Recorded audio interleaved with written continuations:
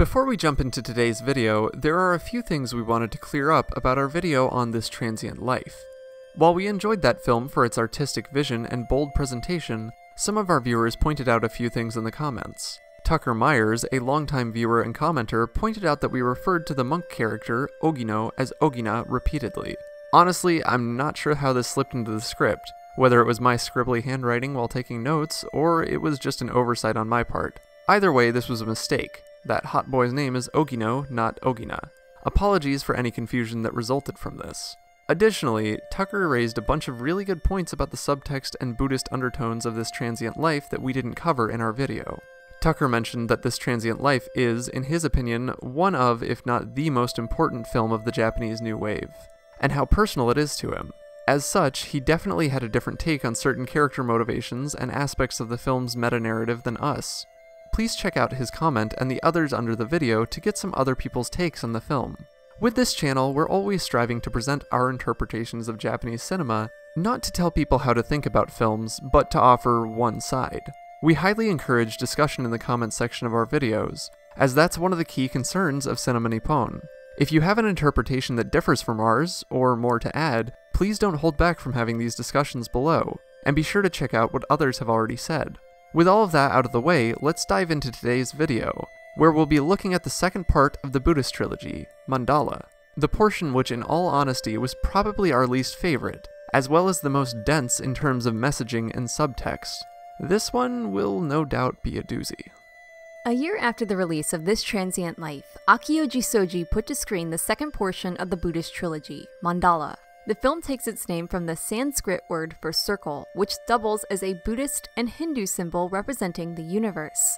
The mandala, appearing in a number of other cultures as well, seems to symbolize wholeness and unity. Perhaps appropriately, most of the crew from this transient life reappear here, forming a sort of wholeness and unity. We have Toshiro Ishido, the writer on both films, Toru Fuyuki, the composer for both, Yuzo Inagaki, the cinematographer for both, and Noriyoshi Ikeya, the art director on This Transient Life, as well as the production designer on Mandala and two thirds of the Taisho trilogy. What's remarkable about Mandala and that which is pretty obvious from the get-go, are the several differences between this film and its predecessor. Namely, Mandala was shot in color, mostly. We'll get to the juxtaposition of black and white alongside color later on. Furthermore, Mandala continues with Jissoji's experimentation in the visual space. The framing remains somewhat abstract here, playing with the perspective and relative size of characters and objects over the course of the film. While there are times that we are clued into who the characters are outside of the vacuum of this narrative based on their conversations, Jissoji and crew effectively display the social strata of the various characters as well as their individual personalities through visuals rather than verbally. As the production values on Mandala increased compared with this transient life, the narrative Jissoji was constructing grew more abstract. In a way, we see a parallel in abstraction between the Buddhist trilogy and Kiju Yoshida's contemporary trilogy. Specifically, the second film in both cases, Mandala and Heroic Purgatory, both showed an interest in contemporary politics as much as existentialism. Before we get into the politics of Mandala, though, we ought to address the elephant in the room. We mentioned the changes in the visual space a moment ago, and there's one main point that we immediately notice outside of the film's use of color sex. Oodles and oodles of sex. The film revolves around a group who kidnap young adults and force them into sexual relationships with each other. Eventually, the group hikes into the wilderness to form an agrarian commune. One thing at a time, though. First, the sex. Mandala opens with stark images of full color sex juxtaposed with sounds of the ocean. The male partner involved in this encounter comments that there's no real purpose in having sex with someone more than once. As the film progresses, we find that it revolves around multiple couples who don't remain consistent throughout. For political and existential reasons, they're made to swap partners multiple times over the film's runtime. For this reason, Mandala seems to explore the multifaceted nature of human sexual encounters. This applies, in just a few examples, to the violent nature of sex, the products of sex, and the effects of observing sex. Through the style and substance of Mandala we mentioned earlier, the film allows us to observe these most intimate moments between sexual partners. Not long into the film's runtime, however, this is flipped on us, and we're accused of being voyeurs, just like certain characters are in a more direct manner. As people are dragged into the sex cult's outpost and given to one another, the higher ups outside of the bedroom observe the goings on occurring within. In at least one of these scenarios, we are directly shown the leaders watching sexual acts on CCTV, thus directly drawing a parallel between these voyeurs and ourselves. Sex as power and violence is also explored in Mandala, specifically through the sexual abuse scene on the beach. In this incident, the cult runs down a young couple in the sand and assaults the two in order to draw them into the cult. This produces the desired effect of bringing them down to the cult's level. It also produces an unintended effect, however, which Mandala uses to explore the echoes of violence, specifically sexual violence. As collateral damage, the female victim's male partner seeks further gratification through similar sexual violence. Observing this action, he develops an interest in women who are quote unquote corpses, as is explored later in the film. Of course, sex doesn't exist in a vacuum. If performed without contraception of some flavor, sex can result in reproduction, which the film addresses later on.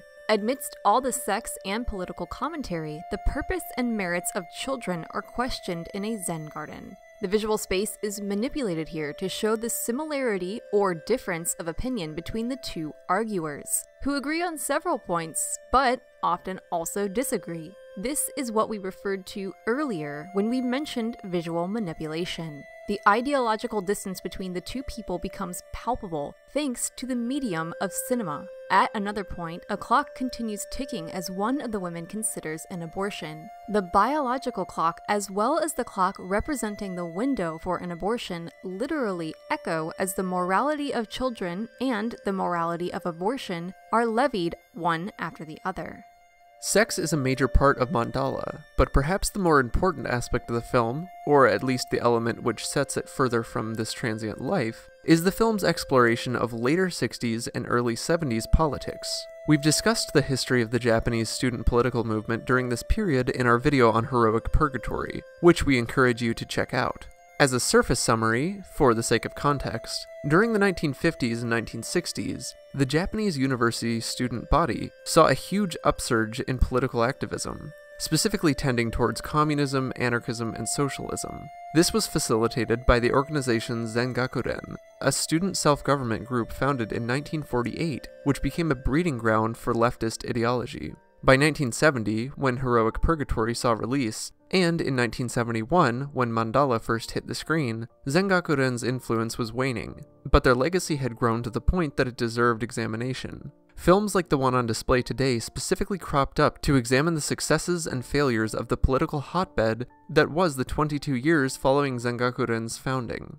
In Mandala's case, Jissoji and company seemed interested primarily in examining how the leftist student movement might evolve as it petered out. By looking to the future, he reflexively looked to the past, investigating how specifically communism invoked religion, sectarianism, utopia, and nihilism. Before going into the darker parts, the film looks at what some of these communist student activities may see as the utopian ideal a sense of egalitarianism explored primarily through agriculture and open sexuality, though ironically reached through explicit sexual violence. Both sex and farming are used to commune with the tribal commune's gods. Specifically, festivals are held for the harvest, and a specific member of the commune is selected as a sex partner and spirit medium for the gods. Outside of their small commune, however, the individual members are cast from society. Perhaps most pointedly, another group of communists throw out one of the lead characters, decrying him as a Trotskyite before chasing him off. According to Reddebrek, big thanks for helping us understanding this better, Trotskyite is used as an epithet against communists who don't adhere to the party model of communism expounded by Stalinists and Maoists. These groups believe that a solid communist party is needed to establish a solid communist state, while Trotskyites, named after Leon Trotsky, himself seen as a traitor to the Soviet Union, are firmly in the wrong by rejecting the party model. The communist groups shown in the film mirror those in real life. They're chasing solidarity and uniformity, and in the process, they're forming schisms, which oppose one another on the details rather than the big picture. Through this shouting down of the Trotskyite traitor, the real world splits between 50s, 60s, and 70s leftists is displayed here. In a way, Mandala may be criticizing this sectarianism as it brings attention to how the character in question is pushed toward the commune indirectly by his condemnation at the hands of the others. Additionally, Mandala raises questions of religion and revolution, and more specifically how the two can be conflated.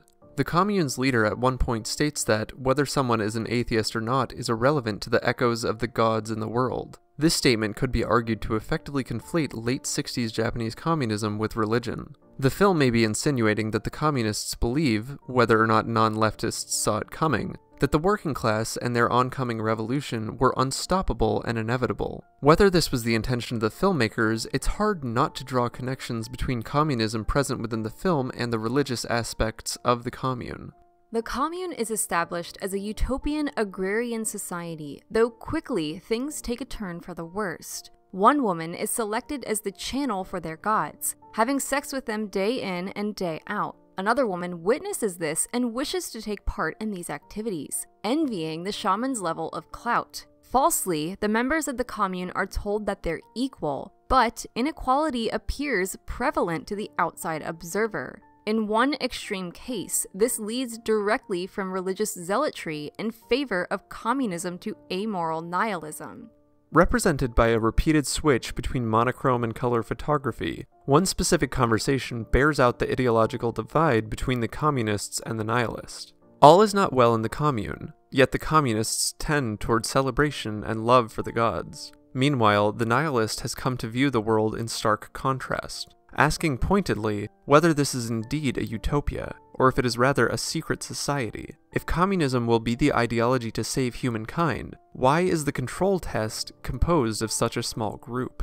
In implicitly raising points like this, specifically through the position switching conversation, this ideological nihilism is shown to us sympathetically. The communists are viewed from his perspective as relatively well off, college educated young people who can afford to move into the woods, only to upheave their entire community and move once more. The leader even owns other land, meaning that if things go south, the group can simply move on. Compared to the idealistic vision the group's leader postulates as his point, and in keeping with what the nihilist believes, the college age communist ideal is displayed as one big party that will continue no matter what. Again, this may not have been Jissoji and Company's intent, but there's certainly an amount of overlap here between the commune in the film and the ideals of the previous decade's communist students. Perhaps Jissoji meant to draw attention to these iniquities.